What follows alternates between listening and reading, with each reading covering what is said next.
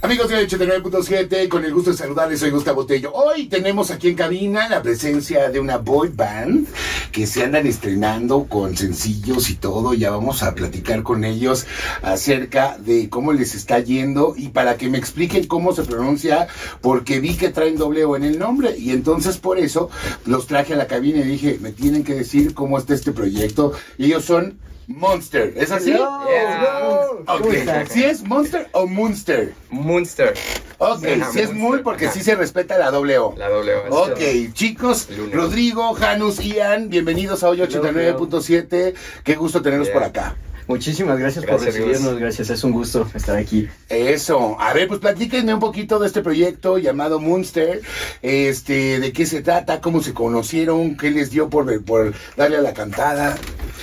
Yeah, pues eh, estamos muy emocionados de, aquí, de estar aquí. Muchas gracias, Luz, por el espacio. La verdad es que nosotros tenemos ya como, ¿qué serán? Como 6, 7 años juntos. Órale. Van como, esta es la tercera ronda de proyecto que nos echamos y al parecer esta es la buena. ¿Sí? Ajá. Ok, o sea, ya desde hace siete años ya habían tenido la idea de, de formar un grupo. Sí, así es. ¿y cómo se llamaba primero? Así, Bad Boys, ¿no? Está chistosa esa historia porque hace cuenta un día nos salió una tocada, pero se salió un integrante del grupo y no nos podíamos llamar igual. Anteriormente nos llamamos Caoba. Ok. Entonces le preguntan a Rodrigo, oye, ¿cómo se van a llamar ahora?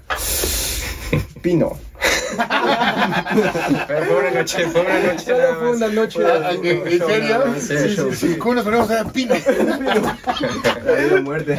Ok, ok, ok. Fue una noche Pino, pero ¿y luego qué pasó? Ah, pues nos conocíamos desde el americano, este, desde chiquitos, a los siete, siete años atrás ya en una, en una fiesta como decidimos formalizar el proyecto, empezamos a hacer música y apenas ya hace como Seis meses más. seis meses ya empezó este proyecto Con otra música diferente, con lo que nos gusta, estando a gusto, ¿sabes? Porque muchas veces estás en proyectos que ni siquiera te gustan y necesitas aterrizarte, regar tu jardín para estar realmente cómodo con lo que vas a trabajar. ¿Cómo, cómo, o sea, más bien, ustedes empezaron con la música, pero, o sea, ¿a qué edad estamos hablando? O sea, ¿cuántos años tenéis? Ahorita son unos chamaquillos. Cuando empezamos, Ajá. Como- Desde, bueno, a tocar, Ajá. a tocar desde los ocho años, pero cuando ¿En ya... serio? ¡Wow! sí, en la iglesia. En, en la iglesia justamente. Ok. Y pues ya de juntarnos como desde los 15, 16. Órale, oye, qué bien. Digo, porque este es, es importante empezar temprano, pero no tan temprano. Oye, a los ocho, a los ocho años, qué chido, ¿no? Este, sí, sí, Porque eso a final de cuentas te va desarrollando un gusto, ¿no? Y vas diciendo, pues, lo que me gusta, mi camino, hacia dónde voy, qué es lo que estoy haciendo, lo que estoy preparando. ¿Cómo, cómo ustedes, este, de pronto, eh, qué oían en su casa? ¿Qué los, qué los influenciaba? ¿Qué decían? Híjole, yo quiero estar haciendo esto un día. Es que prácticamente pasamos como por todos los géneros musicales. Tuvimos desde bandas desde reggae hasta rock, hasta pop, bueno, ahorita pop, eh, hasta incluso una vez rap y reggaetón. Entonces, prácticamente como que si somos un libro. Ah, a- sí, a o sea, todo. le entraron a todo. A todo, Sí. y pues ahorita prácticamente pues ya más centrados, ya más enfocados a lo que pues, realmente queremos y todo, pues ya prácticamente ahorita. ¿No, les, no les dio por así de, ah, ahora somos emos y así, ¿no? ¿Ya? Menos. Bueno, Una yo, yo creo que cada quien tiene como su esencia en la banda. Ok, ok, Sí, sí, sí. ok, ok. Sí, pero sí tenían esa simple, o sea, se han oído de todo, pues. Sí, Sí, o sea, todo, de todo. Lo bonito de Pero esto- nunca se clavaron. No, no, no. Que eso era lo No, importante. O sea, sí tuvimos diferentes etapas Sí, sí. y todo, pero lo bonito de esto es que tomamos lo que, lo que tenemos que aprender, ok, y de esto sale un producto nuevo, ¿sabes? O sea, si yo todo este mes escucho un, un género, yo sé que al siguiente mes va a salir una rola de ese género, Claro. ¿sabes? Oye, ¿cómo, ¿cómo empiezan a darle forma profesionalmente? O sea, ¿en qué, ¿en qué momento dijeron, sabes qué? Creo que sí nos tenemos que dedicar a esto. Yo creo que fue a partir desde que conocimos a Dan, nuestro productor. En ese momento nosotros ya teníamos ratito dándole, pero como que estaba muy flojo el proyecto. Decíamos, pues yo creo que ya no, como Sí. que ya queríamos separarnos, pero de repente nos conoció este productor, vio un video de YouTube, le gustó nuestro proyecto, lo fuimos a conocer. De hecho, en ese momento éramos cuatro integrantes, pero como que nada más jaló para nosotros tres. Ok. Por muchas razones que hubo, pero a partir de ahí conocimos el estudio de Dan. Era la primera vez que íbamos a un estudio profesional, entonces era como como una nave espacial cuando fuimos a- al estudio de Dan, a Flat Records, de hecho. A Frat. Ok, ok. Y ahí empezaron ustedes, o, o ya tenían ustedes algo como maquetas de lo que ustedes querían hacer, o de pronto empezó a salir ahí eh, eh, el camino que iban a seguir. Pues mira, sinceramente ya teníamos música, pero nada que ver. O sea, cuando tú llegas de las ligas altas, les enseñas a tres chamaquitos cómo se hacen las cosas. Sinceramente ahí, ahí hemos aprendido un chorro de cosas que al día de hoy yo creo que si no hubiera pasado ahorita, no sé, estuviéramos en bares. Que no está mal. Digo, no no, está mal, no. O sea, a final de cuentas no está mal, pero, pero digo, obviamente es importante dar como el paso, ¿no? O sea, decir, decir, bueno, ¿sabes qué? Este, pues vamos, vamos a sacar disco, vamos a sacar un sencillo, ¿no? Que empiece, que empiece esto a circular y a moverse, ¿no? Exacto, Yeah. sí. O sea, la aspiración es siempre tirar hacia arriba. De que el Grammy, de que el Foro Sol. Porque no sé si te sabes la historia de el brother que tiraba piedras a la luna. No. ¿No? Bueno, te la voy a contar rapidísimo. Era un cuate que aventaba piedras a la luna y siempre le decían, oye, tú estás loco, que quién sabe qué. Dice, mira, el día que llegue la competencia, ¿quién crees que va a ser el que va a llegar más lejos? ¿Sabes? Entonces la conclusión de esto es tirar siempre mucho más lejos, a pesar de que tú tengas un rango más corto, para que al día que se te presente la oportunidad poderlo darlo todo, ¿sabes? Ah, muy bien, muy sabio, muy sabio, bien. Buen, buen- buenos consejos y, y obviamente, este, pues que, que también que sepan que pues sí, el, el camino no es tan fácil, ¿no? Hay que Sí, empezar a picar piedra, totalmente. este, que ganarse a la gente, conectar con la gente, que eso es importantísimo, ¿no? Que, que los fans vean y digan, este, no, es que esta canción me llegó y wow, o sea, eso, ¿no? Que empiece, que empiece a ver este, este, este movimiento. Sí le pegan a las redes, me imagino. Sí, cañón. Más, más que nada cuando te lo tomas profesionalmente, ya es cuando ves, empiezas a ver los resultados tanto de la gente, tanto de ti como persona, empiezas a tratar las cosas más profesionalmente. Entonces, de ahí eh, es lo bonito porque también es acompañado de las redes. Entonces, la gente también nos ha, nos ha recibido, gracias a Dios, pues con mucho gusto, con toda la entusiasmo y todo. Claro. Yeah. ¿Cuál es así su sueño más próximo? El que digan, esta es nuestra, nuestra meta que queremos hacer a brevedad. Yo creo que a brevedad, o sea, personalmente yo sí quiero llenar un auditorio, o sea, en de que en dos años, ok. plazo, medio plazo, ¿sabes? Justo, Sí, esto sí. no lo habíamos hablado entre nosotros, Ya. pero yo también espero tener nuestro show, poderlo llenar. Eso sería un gran, una Un gran meta logro, sí. Ok. ¿Y tú, y para acá? Yo para fin de año, más, más próximo, de hecho ya está como medio, medio planeándose ahí, cocinándose, pero poder llenar nuestro propio show a fin de año. Oh, Preparar todo eso para... Bien. Estaría chido. Bien, ¿cómo ven a su fandom? O sea, sí, sí está respondiendo, sí, los, sí están jalando. son- sí. Son un amor, son un amor, son muy, muy lindas personas. Hace poquito nos organizaron un meeting, ¿se dice? Mm, sí, o meet and greet. un meet Ajá, and greet, ajá. Fue un picnic, Ajá. ellos organizaron, nada más nos dijeron nuestro equipo, oigan, tenemos que estar aquí porque les van a tener una sorpresa. Llegamos, un mantelito ahí, todas las fans ahí recibiéndonos, les cantamos canciones, la pasamos muy, muy cool. Ah, qué bien. sí. Muy bien, es importante, es importante siempre apapachar a las fans, ¿no? Este, Justo. porque Justamente son las que también les impulsan un montón a, a moverlos a- y a mover su música. ¿Cuál es el sencillo que están promocionando ahora?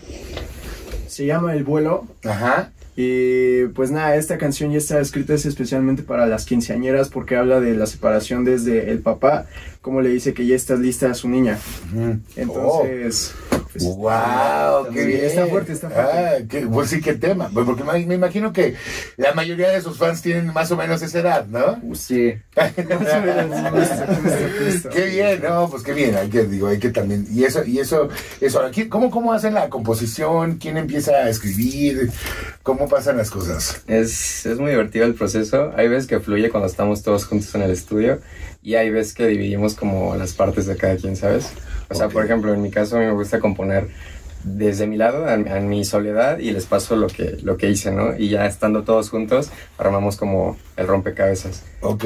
Y hay ok. veces que también eh, fluye así súper cañón. De hecho, el último sencillo que estrenamos, PTM, Ajá. fluyó pero cañón en el escenario. O sea, la rola salió en un solo día y, y fue un buen resultado. Oh, muy bien. Ajá. Pero entonces sí tienen así, o sea, sí se determinan como cierto día de la semana y decir, nos, nos tenemos que juntar para, para ponernos a trabajar sobre X canción. Sí, cuando falta música, sí, ya urgentemente sí, pero generalmente de que yo estoy ahorita ahorita se me ocurre algo en el coche y tarareo en el, en el celular. O sea, si tú ves todas las notas del celular, son puras...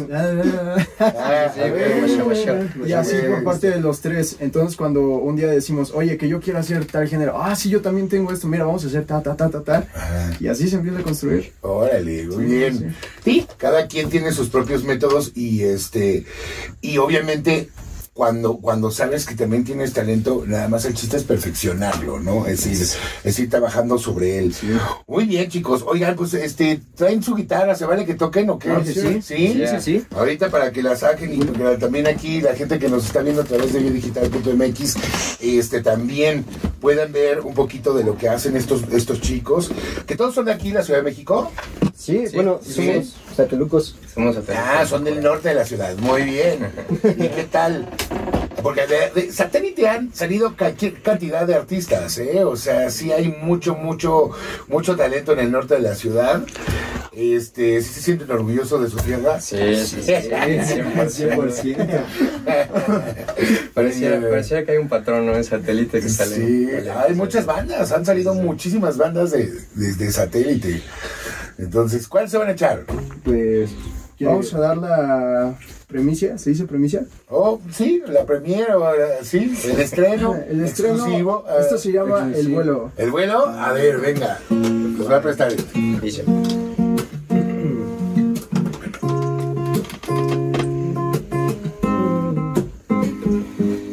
Secreto y te voy a ser sincero.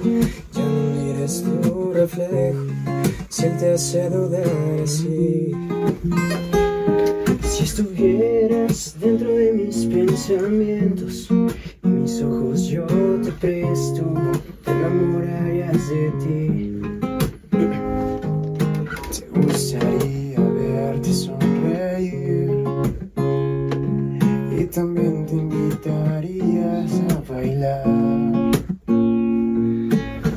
Perfecta imperfecta eres así y eso me gustó de ti.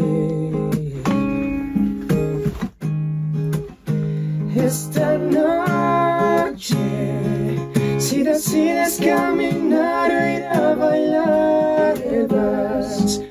seré quien siempre cuide tu compás.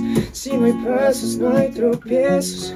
Si no hay blanco, no hay negro. Y tú eres luz de oscuridad. Si tomas el vuelo y piensas no volver jamás. Nunca olvides que aquí tienes tu lugar. Y aunque estemos cerca o lejos, en mi corazón te llevo, nunca te voy a fallar.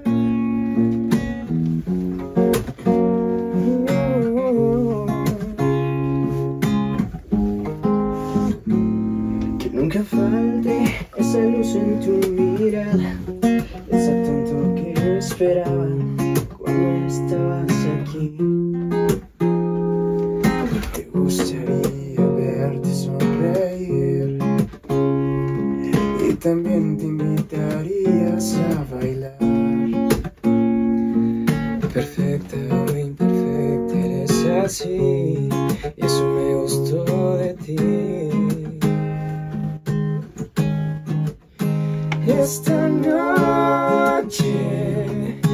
Decides caminar o ir a bailar, vas. Yo seré quien siempre cuide tu compás. Si no hay pasos, no hay tropiezos. Si no hay blanco, no hay negro. Y tú eres luz de oscuridad. Si tomas el vuelo y piensas no volver jamás. Nunca olvides que aquí tienes tu lugar. Y aunque estemos cerca o lejos, en mi corazón te llevo y nunca te voy a fallar.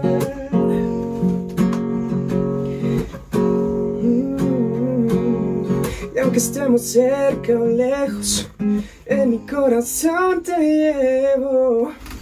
Por si quieres regresar. ¡Wow! Muy bien. Yeah. Let's go. Qué bien, ¿eh? Está súper buena la rolita.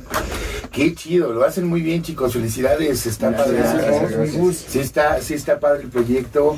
Este, qué, qué- qué bonito que lo además dominaron la tarea. La primicia aquí en La hoy primicia. 89.7, ¿cómo no? Antes que nadie. Oigan, este, ¿tienen planeado ya, por ejemplo, digo, aparte de, de- su propio show, tal vez hacer showcases o algo así? Sí, justamente hemos estado, eh, nos han invitado muchísimo a giras de escuela en Cuernavaca. Ah, Eh, muy bien. esperamos hacer giras acá también de escuelas y pues, estamos abiertos a, a lo que se venga. También estuvimos en, en Expos 15, en, en varias de esas nos han invitado y pues... De hecho, tenemos, seguimos. tenemos otra este mes de Expo 15. ¿Sí? Ajá. Ah, súper. Pues a ver si los invitamos a la gira escolar de hoy, ¿no? Estaría buenísimo también para que se fueran a tocar allá, ¿no? Sí, claro ¿Cómo que sí, jalamos. ¿Sí? A donde Órale, Muy bien, chicos, pues es un gustazo tenerlos. Por favor, compartan sus redes sociales para que la gente pues ya los conozca, los sigan, con todos sus canales, todo lo que tengan. Muchas gracias. Estamos en Instagram y en TikTok como arroba wearemunster. Munster se escribe con doble O y un 3 en la E.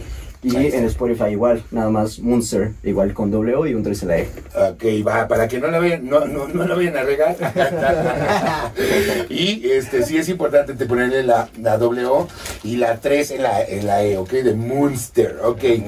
Pues, mi querido Rodrigo, Janus, Ian, muchas gracias por estar acá en hoy Muchísimas 89.7. gracias. Este, pues el mejor de los éxitos, que yo creo que esta ahorita pues va a pegar porque ya, ya mucha gente ya la, ya la pudo oír aquí antes que nadie. Entonces, pues mucha suerte con esto. Muchísimas Gracias, gracias, gracias, por la invitación. Eso, esperamos verlos pronto. Ahí está Munster en hoy 89.7. Soy Gustavo Tello. No se despeguen porque tenemos más.